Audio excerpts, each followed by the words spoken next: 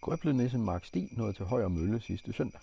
Møllen er en hollandsk vindmølle fra 1857 og er en af de største i Nordeuropa. De små ben var lidt trætte, men Grøblenissen vidste, at det var for tidligt at give op. Hans pral havde endnu engang bragt ham i en nisserlig træls situation, for han havde fundet et kort over Marskstien lige uden for nissehulen i Margrethe K. Og i et særligt øjeblik havde han sagt, at den sti kunne han snilt runde før jul.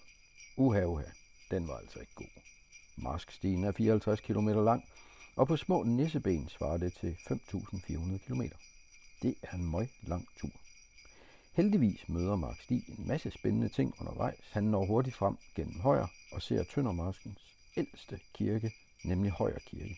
De ældste dele stammer fra 1100-tallet. Kirken og kirkegården har flere gange i historien været udsat for stormfloder og oversvømmelser, men heldigvis ikke denne dag, hvor Grøblenissen når ud af byen bag diget. Her ser han noget rigtig nisserligt sjovt. En hund løber rundt og holder styr på en masse form.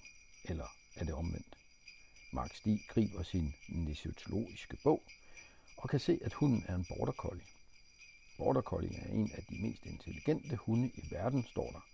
Det er en hyrdehund, der stammer fra et grænseområde mellem England og Skotland. I Tøndermarsken bliver den ofte brugt, når forerne skal drives, flyttes eller fanges.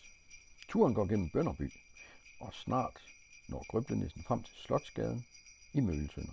Hele gaden har mange fine gamle huse langs brostensbelægningen. Slotsgaden blev anlagt omkring 1680 af lensgreve Otto Didrik Schack, der ønskede at skaffe bedre plads til slottets tjenere. Og på længere sigt ville han også gerne skaffe indtægter fra håndværk og handel fra gaden.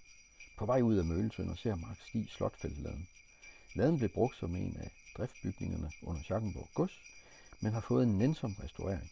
Fra Møltønder gik Grøblenissen videre til julebyen Tønder. Her følte han sig hjemme, hurtigere end man kan sige risengrød. Tønder har langt tilbage i tiden været præget af et livligt markeds- og handelsliv. Købmændene har gennem tiden bragt velstand til byen og opført fornemme bygninger, hvoraf de fleste faktisk står endnu. Købmændene har blandt andet doneret penge og gaver til Kristkirken midt i byen. Her når Grøblenissen Mark Stig til denne søndag. Må han når hjem til jul. Følg Grøblenissen Mark Stig i Tøndermarsk Initiativets adventskalender her på siden og se, om han får sendt postkort hjem, som han har lovet. Vi ses på søndag.